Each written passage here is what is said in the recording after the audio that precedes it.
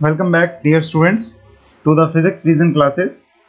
The given question is R is a position vector given by this thing then we need to calculate the divergence of unit vector r cap okay so we need to take the derivative or divergence of r cap which is given by curl by curl x of r cap which is x divided by under root of x square plus y square plus z square. Okay? This is ith component plus curl by curl y of this time we will be taking y upon the whole factor r which is x square plus y square plus z square under root and next term similarly will be curl by curl z of z by under root the same factor x square plus y square plus z square. Now we need to take the derivative of it. ये हमने क्या किया है we have taken here r cap is equal to r vector divided by its magnitude. r vector is given to be this and its magnitude comes out to be this under root of x square plus y square plus z square. Now I'll take the derivative. After taking the derivative, what will we get?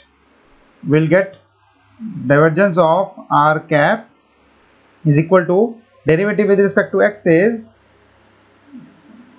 by using the quotient rule तो x square plus y square plus z square ऊपर आ जाएगा derivative of x is 1 minus x is as it is and derivative of this term is half into x square plus y square plus z square power minus half okay into 2x and divided by the whole term is taken in the square so it is it becomes x square plus y square plus z square. This is the first term only, first term which is derivative with respect to x. Okay. Similarly, we will take the derivative with respect to y and derivative with respect to z. The difference in these terms, where will be the differences? This will be the remain the same okay in y as well as in z.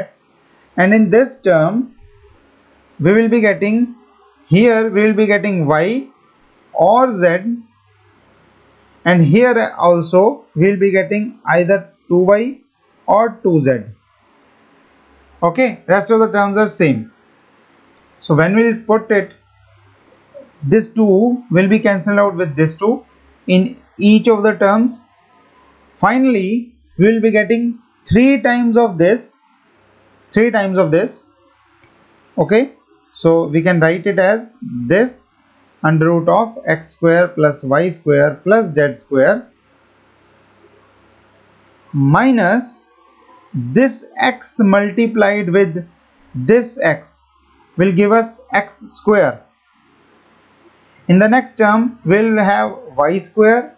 In the next term we will have z square. All are with the negative sign. So this negative sign is taken out of the bracket and this term is common in all so it can be written as x square plus y square plus z square minus half now the whole term is divided by one factor which is x square plus y square the numerator is written and denominator is common in all that is equal to this now if you observe the above factor, what will you get? What will you get? You will get this x square plus y square plus z square divided by this under root of x square plus y square plus z square will give us the power to be 1 minus half that is half only. Okay? So I have cancelled out with this. And this half this is 3 times of under root of this which is r. So I can write it as I can write it as this factor as 3r minus r upon r square which is 2r upon r square which is 2 upon r. Hence option A is the correct answer to this question. Okay? So stay tuned with us and thanks for watching